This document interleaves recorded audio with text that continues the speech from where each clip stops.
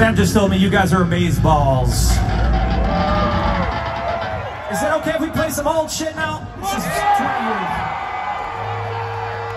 Here you go. This is called Das Clincher.